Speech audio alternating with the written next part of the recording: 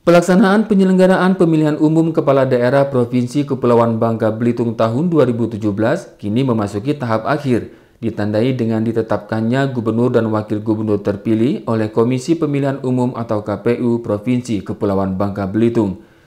Penetapan pasangan gubernur dan wakil gubernur masa bakti 2017 hingga 2022 digelar di Hotel Santika Bangka, Kabupaten Bangka Tengah, Rabu 15 Maret 2017 melalui rapat pleno terbuka. Rapat pleno dipimpin oleh Ketua KPU Provinsi Kepulauan Bangka Belitung, Faru Rozi, didampingi empat komisioner lainnya serta Sekretaris KPUD Mas Darsono.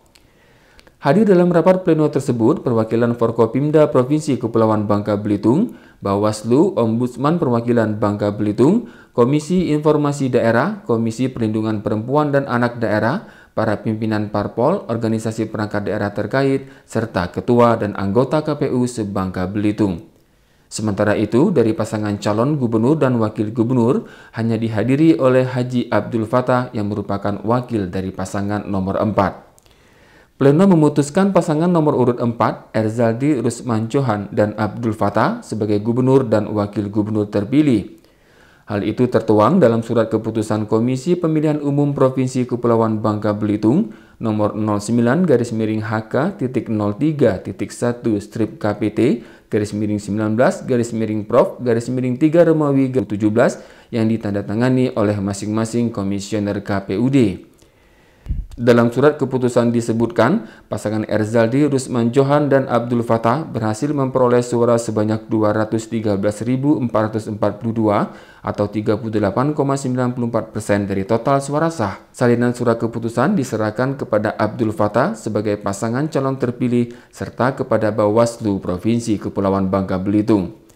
Sedangkan berita acara surat keputusan KPU tersebut selanjutnya akan diserahkan kepada DPRD dan pemerintah Provinsi Kepulauan Bangka Belitung untuk ditindaklanjuti ke Kementerian Dalam Negeri. Ketua KPU Provinsi Kepulauan Bangka Belitung, Fahru Rozi mengatakan penetapan calon terpilih gubernur dan wakil gubernur berdasarkan mekanisme dan aturan yang ada, yakni dengan memperhatikan rekapitulasi perolehan suara secara berjenjang dimulai dari tempat pemungutan suara atau TPS kecamatan, kabupaten, kota, dan provinsi. Selain itu juga dengan mengakomodir keberatan dari pasangan calon maupun rekomendasi Bawaslu dan Panwaslu. Bahwa rapat pleno rekapitulasi itu sudah berlangsung berjenjang mulai dari rekap di tingkat TPS, kemudian dilanjutkan di tingkat kecamatan,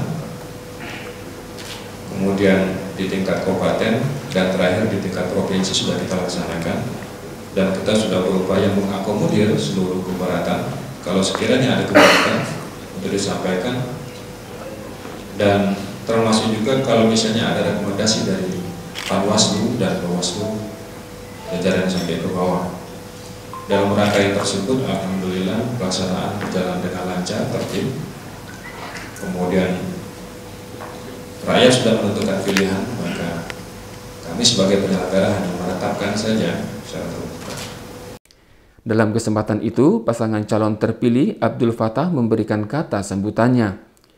Mantan Sekretaris Daerah Kabupaten Belitung ini mengajak seluruh warga untuk merekatkan kembali persatuan dan kesatuan pasca pemilu kada Bangka Belitung. Semangat kebersamaan itu dibutuhkan dalam membangun Provinsi Kepulauan Bangka Belitung yang lebih maju. Selanjutnya dengan ditetapkannya kami sebagai calon gubernur dan wakil gubernur Provinsi Kepulauan Bangka Belitung, kami ingin menyampaikan beberapa hal sebagai berikut. Pertama, bahwa proses politik secara demokratis melalui pemilihan calon gubernur dan wakil gubernur telah selesai. Mari kita jalin rasa persatuan, kesatuan, seluruh masyarakat Provinsi Kepulauan Bangka Belitung untuk membangun Provinsi Kepulauan Bangka Belitung yang maju.